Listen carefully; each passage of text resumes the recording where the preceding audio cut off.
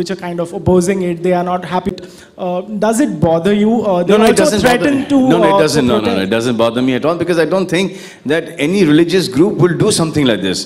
Because if they are a religious group, so this is the basic thing that they know that every religion respects the other person's religion.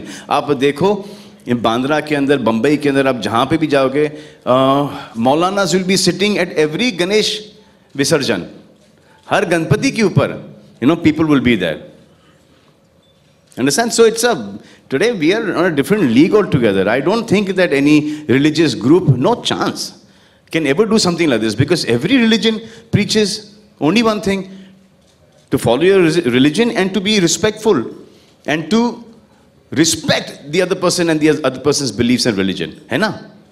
So, then who are these can- people who are protesting? So then how can any, I don't think anyone can protest on this. If you're saying religious groups are doing that, there's no chance. Don't malign them. Don't malign them, please.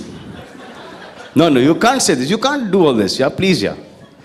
ऐसा लगता है आपको कि कोई religious group कुछ बोलेगा on such pos- on peace on peace they have a problem Islam with the title. Islam means peace Islam means peace What are they protesting against? that but- uh, that a Hindu name cannot be combined with a Muslim endowment.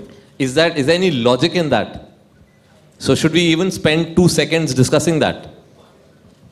The whole point of the title is that this is the greatness of India. So we should not even waste time on you know fringe elements. who are But I just don't believe I attracting don't believe people. ये गलत information लेके आए That's what I'm saying. They're definitely not religious organizations. They're just some Tell me one person who believes that this could be a religious thing. Who's taking objection? No. Does anyone? Raise your hand. Raise your hand.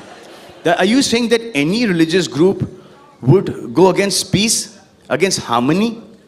As in Hindu, Muslim, bhai bhai, living together?